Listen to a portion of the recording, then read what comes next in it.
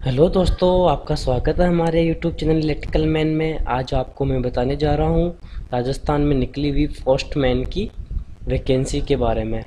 ठीक है तो इसका ऑनलाइन फॉर्म कैसे फिल करना उसके बारे में मैं आपको बता रहा हूँ।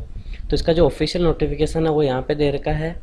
उसका लिंक मैं आपको डिस्क्रिप्शन में दे दूँगा तो आप उसको देख लीजिए और ऑनलाइन फॉर्म फॉर्म भरने के लिए मैं आपको बताता हूँ क्या क्या स्टेप आपको फॉलो करने हैं। इनकी जो ऑफिशियल साइट है वो ये है India first GDS online engagement ठीक है तो इसमें जो फ़र्स्ट स्टेप नोटिफिकेशन आपको यहाँ मिलेगा, ये राजस्थान साइकिल सेकंड तीन हज़ार दो सौ बासठ पोस्ट निकली हुई है इसमें। तो स्टेज फ़र्स्ट में रजिस्ट्रेशन करना आपको। रजिस्ट्रेशन में जाके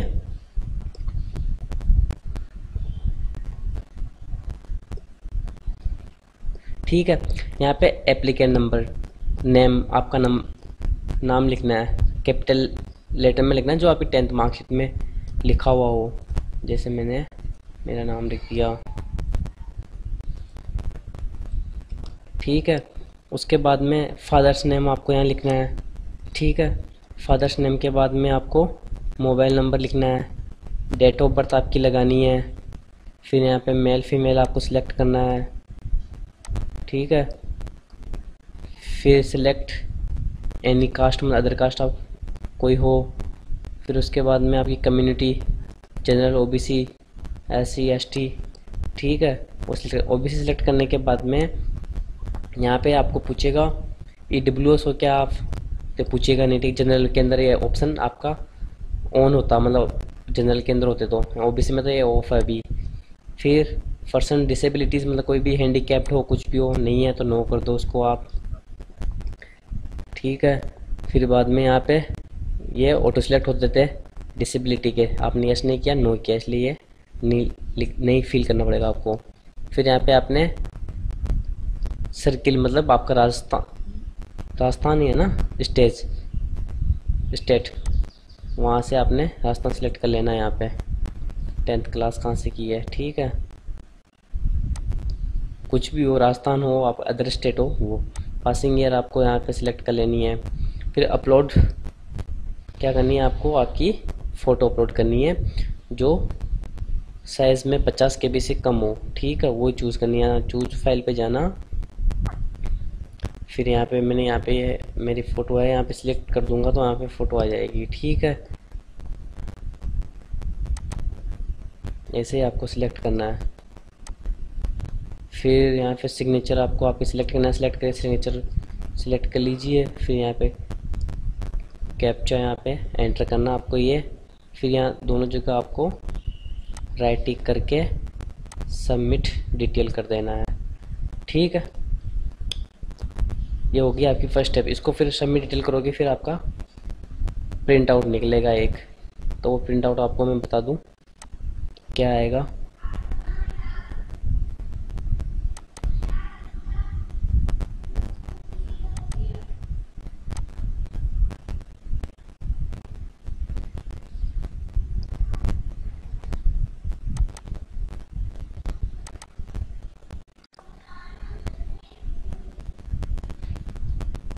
सबमिट करने के बाद में आपका ये रजिस्ट्रेशन नंबर ये आ जाएँगे। आपको रजिस्ट्रेशन नंबर मिलेगा एप्लीकेंट नेम मिलेगा आपको।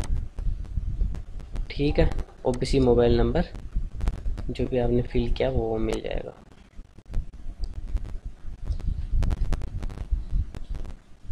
ठीक है? फिर उसके बाद में आपको नेक्स्ट स्टेप में जाना है।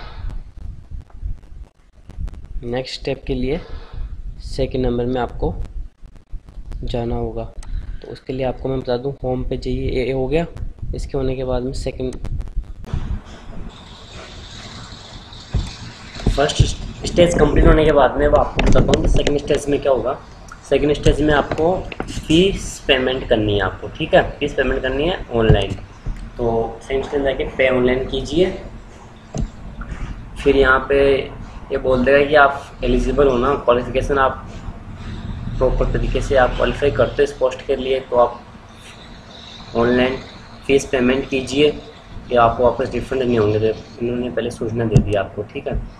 तो यहाँ पे मैं, मेरे नंबर है रजिस्ट्रेशन नंबर डालो, फिर आपकी डिटेल आ गई फिर हंड्रेड रुपीज़ आपको क्या करना है? पे करने हैं ओबीसी वालों के लिए जनरल वालों के लिए। ठीक है? फिर मैक पेमेंट पे जाएँगे।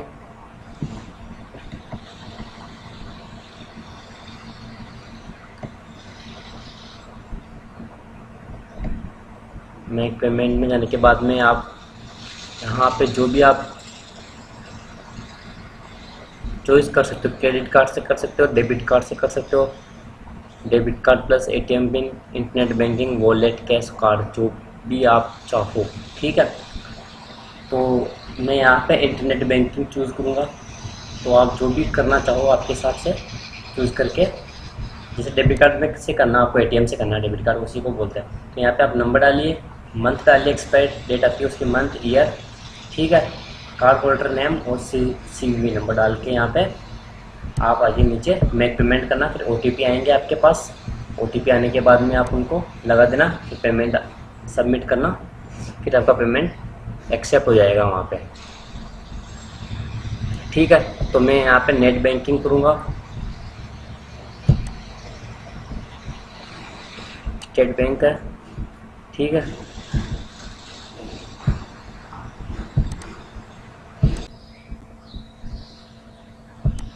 मैंने यहाँ पेमेंट कर दिया है।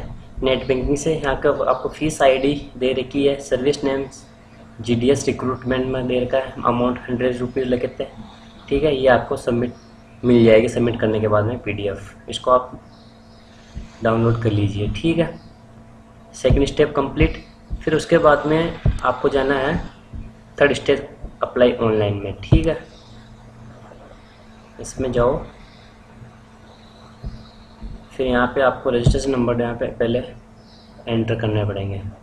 ठीक है तो मैं रजिस्ट्रेशन नंबर एंटर करता हूँ। रजिस्ट्रेशन नंबर लगाने के बाद में कहाँ पे आपने अप्लाई किया? राजस्थान से किया हरियाणा, मध्य प्रदेश, उत्तराखंड। ठीक है, राजस्थान सेलेक्ट कर रहा हूँ मैं। फिर यहाँ पे मैं सबमिट करता हूँ। ठीक है तो ओ आएँगे आपके नंबर पे। तो ओ लगाओ। ओटीपी लगाने के बाद में नेक्स्ट कीजिए।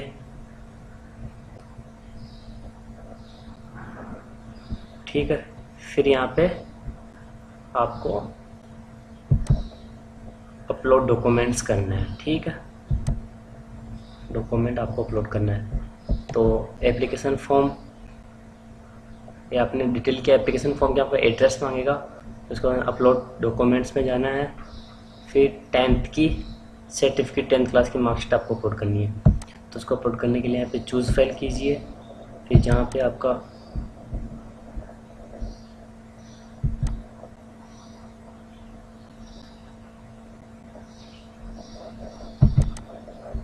ठीक है। टेंथ फ़ाइल फिर यहाँ पे आपको डालनी है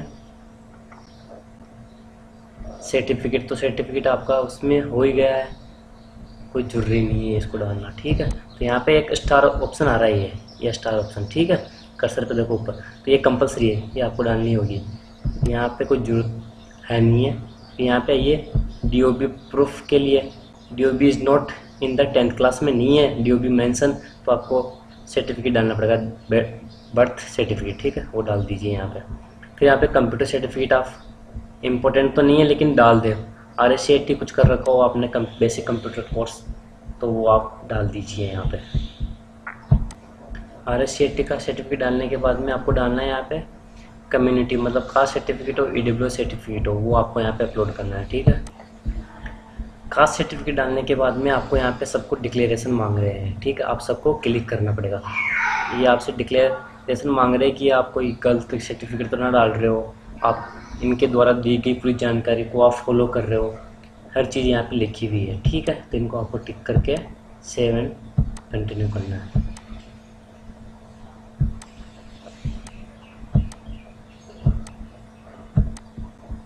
ठीक है? Save and continue modification allow नहीं होंगे बाद में, ठीक है? तो आप कंप्लीटली सही फील कीजिए, फिर यहाँ पे कंटिन्यू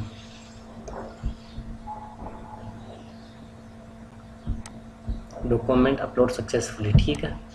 फिर यहाँ पे मैं जाता हूँ। अब यहाँ आपको डालने हैं रेफरेंस नंबर चूज़ करना आपको, ठीक है?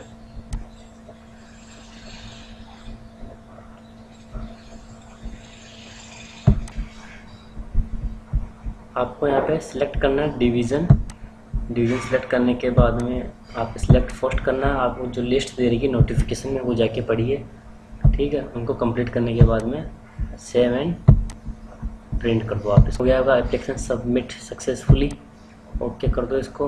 एप्लीकेशन सबमिट होने के बाद में इसको प्रिंट कीजिए। ठीक है। इसको प्रिंट में जाके वहाँ पे सेव कर लीजिए आपकी डेस्कटॉप पे। सेव होने के बाद में आपका फॉर्म कंप्लीट हो जाएगा। ठीक है? ऑटोमेटिक ये वापस होम पेज पे आ जाएगा। तो आपका कंप्लीट हो गया फॉर्म ऐसे ही आप और कुछ वीडियो चाहते हो, आपके ऑनलाइन एप्लीकेशन फॉर्म कुछ भी निकला मैं डालता रहता हूँ। तो उसके लिए आप चैनल को सब्सक्राइब कीजिए, वीडियो अच्छा लगा लाइक और शेयर कीजिए। धन्यवाद।